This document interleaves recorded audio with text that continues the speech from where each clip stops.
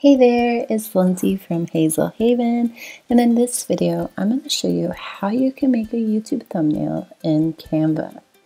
So the first thing you want to do is to log into Canva, canva.com, and I am using the free version of Canva. Once you get here, you can either use one of your own designs for thumbnails, or you can browse up here and you know you can put in just YouTube thumbnail. So over here on the left, they already have a bunch of different thumbnail templates that you can use, but I'm to show you how you can make your own. So over here, these are kind of my own templates that I use and go back and forth in Canva. But what I always like to do is go to my videos and sort them by most popular. And then I like to see which ones are doing the best. And I always change up my thumbnails. But as you can see, some of these old designs really aren't doing as well as these ones on the gradient. So let's make one of those. Okay, so you go over to search and you type in gradient and then you can just choose any of these. The one that I like to use is, um, it was right here. And then I just, I just stretch it out for the whole space. And then, um, oh, I just hit the T button for that text to come up but you can also come over here to text and then do that here. So I'm gonna get rid of this other one and then right here I'm just gonna type in thumbnail, YouTube thumbnails, maybe thumbnails in Canva and we can do that. Okay, so see if YouTube has a good icon in here for free. Um, no, it doesn't look like it. So I'm just gonna type in YouTube.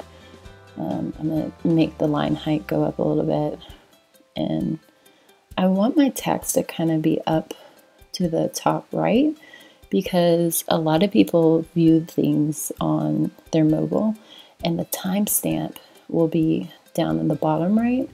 And if you keep your text up a little bit, it won't be covered by the timestamp. Okay, so let's add the Canva logo. You can search up here for Canva and then drop it in. I'm going to change the color to white and then I'm going to copy this and change it or change the next color to black so that we can get this little pop-up effect.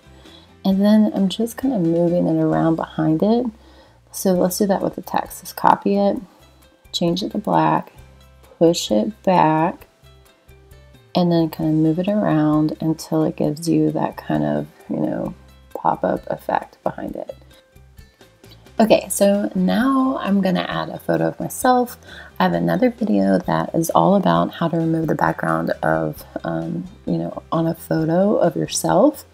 And you can, well, I'll put the link below, or you can search uh, for Lindsey Hazel remove background on YouTube and you can find it that way too. But yeah, so now you can just go ahead and save it now that, you know, I have a lot of ones in here. This is number seven, so I'm saving that. And then you can just upload it to your new video and ta-da, there's your uh, thumbnail that you just made in Canva. Now what's really cool about this is that you can have lots of different thumbnails in here that and kind of test with, with and uh, try out.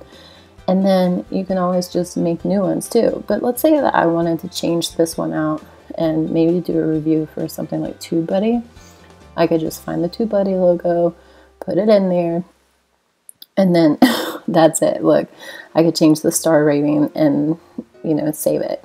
But this way, once you create your own templates, it makes creating thumbnails so much easier than recreating them every single time.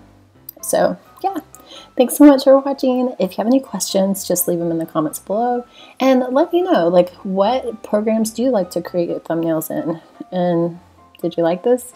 If you have any feedback or if there's anything that you'd like to see, definitely let me know in the comments below and I look forward to seeing you in the next video. Bye! Put the text on top of each other, it will pop off the screen. I don't know why this isn't working. I spelled it right, right?